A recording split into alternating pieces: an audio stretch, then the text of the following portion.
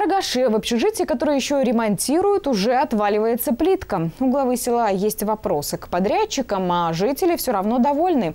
Здание не ремонтировали 40 лет, а теперь есть новая котельная, тепло, светло и по коридорам ходить не страшно.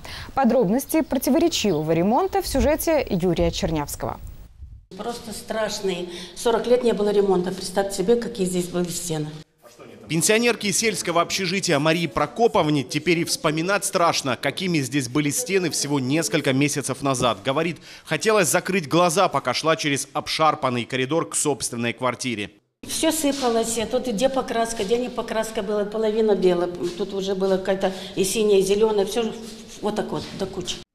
Сейчас на коридорных стенах декоративная штукатурка, горит свет. И так на всех пяти этажах общежития. В фойе тоже обновили антураж. На полу новая керамическая плитка. Мария Прокоповна, которая 20 лет проработала на московских стройках, во время ремонта взяла на себя роль нештатного бригадира. Следила за качеством ремонта и подгоняла строительную бригаду. Командовала, ребят кричала, давайте вот это грунтуйте, то, то, то, то, то. А вы, в общем, были э, прорабом, да? Да, была прорабом, да. Приятно ходить, приятно жить тут, конечно. Так что все нормально сейчас.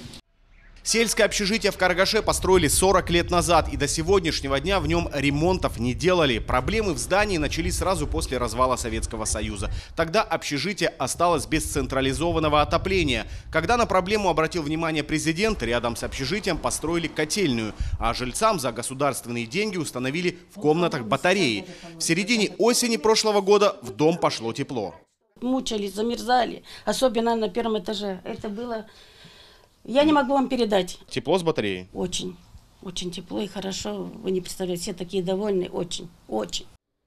По поручению президента сразу после запуска котельной начался ремонт внутри здания. Деньги выделил фонд кап вложений. Новые стены – это, конечно, красиво, но по мере завершения работ появились и первые нарекания на качество ремонта. Во-первых, недоделки в электрике. Розетка вываливается наружу, рядом висят какие-то провода. Во-вторых, плитка на крыльце кое-где уже отвалилась, зазоры не заделаны. Да к тому же сама плитка, скорее всего, предназначена для помещений, а не улицы. Хотя этот нюанс предварительно обговаривался. Я не думаю, что они перепутали плитку. Здесь должны были поставить нормальную уличную плитку. Вот, для, то, для безопасности жильцов, особенно в зимний период. За разъяснениями глава села намерен обратиться к подрядчику. Не исключено, что ремонт, который вот-вот должен был закончиться, придется растянуть еще на какое-то время. Юрий Чанявский, Дмитрий Ягодкин, ТСВ.